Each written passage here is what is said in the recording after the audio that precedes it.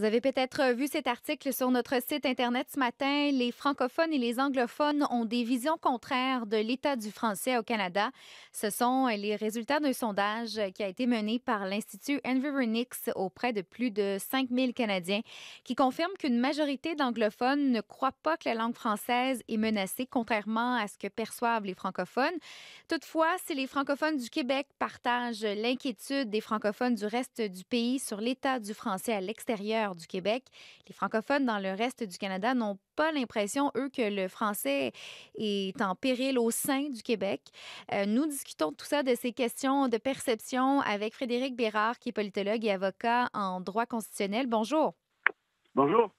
Alors, le point en commun entre les francophones au Canada, euh, c'est que les trois quarts, selon euh, ce sondage, s'inquiètent de l'état du français à l'extérieur euh, du Québec. Est-ce que c'est une conclusion ou un constat qui vous surprend? En fait, ce qui me surprend, c'est que ce ne soit pas plus élevé que ça, parce ah que pendant longtemps, on a cru au Québec que les francophones hors Québec étaient euh, comme appelait euh, René Lévesque, l'ancien premier ministre, des dead ducks, des canards morts. Yves Beauchemin, le romancier, disait que c'était des cadavres euh, encore chauds. mais oui, clairement, il y a de toute évidence une mécompréhension de, de, ce qu'est l'autre groupe francophone au pays.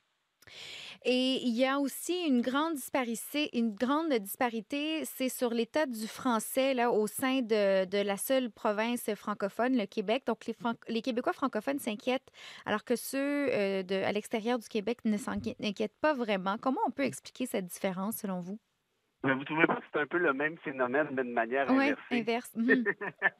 c'est que les groupes euh, qui subissent euh, ou qui ont à lutter pour pour la survie de leur langue considèrent toujours euh, leur combat comme étant nécessairement euh, plus, euh, peut-être pas important, mais peut-être plus légitime, plus nécessaire. alors que quand on regarde les faits, quand on regarde les chiffres, ben, clairement, la situation du Québec n'est pas parfaite, ça va de soi, mais si vous analysez les rapports de l'OQLF, c'est loin d'être une catastrophe non plus. Il y a 11 des Québécois qui sont capables de s'exprimer en français. Euh, dans le milieu du travail, il y a plus de 80% des Québécois qui travaillent essentiellement en français. Euh, d'un point de vue langue d'affichage, il y a eu euh, une conformité qui frôle aussi les, 80 ce, qui ce qui embête les gens actuellement au Québec, c'est l'espèce de bonjour aïe qui, qui complexifie un peu l'affaire parce qu'évidemment, on n'est pas accueilli uniquement en français. Mais une autre chose aussi qu'il faut considérer, c'est qu'avec avec, l'immigration qui est incontournable, euh, au Québec comme ailleurs, bien évidemment qu'il y a de moins en moins de Québécois qui parlent euh, le français à la maison. Mais est-ce que c'est vraiment le, facteur qui doit être considéré, le français à la maison, c'est plutôt le fait de pouvoir parler français, par exemple, au travail ou socialement? Mm-hmm. Et que dire des anglophones euh, du Canada? Pensez-vous qu'ils connaissent bien le fait français au pays? Ben, je ne veux pas réaliser parce que j'ai l'année dernière la, mm-hmm les consultations euh, publiques euh, entourant la réforme de la loi sur les langues officielles. On a plusieurs anglophones dans, toutes les provinces ou presque euh, qui venaient nous voir et qui nous disaient à quel point ils voulaient que le fait français soit davantage puissant, qu'ils voulaient envoyer leurs enfants à, l'école française, institut, ou à tout le moins qu'il y a des écoles il y a des, même des regroupements de parents anglophones pour le fait français, mais c'est bien évident que, comme dans toute société, la majorité linguistique euh, est, moins sensible à la réalité de la minorité que ne l'est la minorité elle-même. C'est un phénomène qui est assez euh, normal. On comprend souvent moins bien cette réalité-là que, que pourra le faire la, minorité, de toute évidence. Mm-hmm. Alors, je pense qu'ici, c'est simplement de transposer ces espèces de, de réflexes-là euh, mais, mais, pour le reste, donc, est-ce que c'est surprenant? Non, je ne dirais pas. Est-ce qu'il reste du chemin à faire? Oui. Mhm. Mais est-ce que tout ceci est absolument catastrophique? Je ne dirais pas ça non plus. Non. Et, que dire des, des nouveaux arrivants, euh, des, des, immigrants anglophones ou francophones ou, tout autre? Il y a, euh, et on le remarque, un, intérêt pour le bilinguisme, pour envoyer leurs enfants dans les écoles d'immersion anglaise ou française selon la situation. Pensez-vous que, que les immigrants sont très branché sur le bilinguisme? Euh, ça, c'est une bonne question. Ça varie aussi selon les, provinces, hein, évidemment.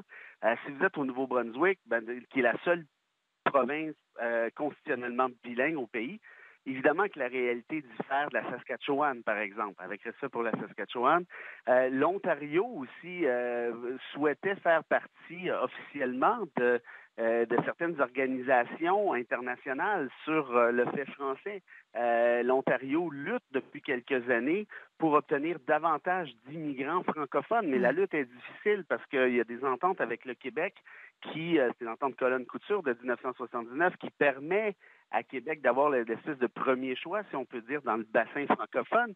Euh, donc, évidemment que c'est une, c'est une lutte qui, qui est difficile. Et pour le reste, une chose est sûre, c'est que des écoles en français il en pousse actuellement mhm. euh, au Canada depuis environ les années 90. Il en pousse probablement pas assez, euh, me diront vos auditeurs, vos auditrices.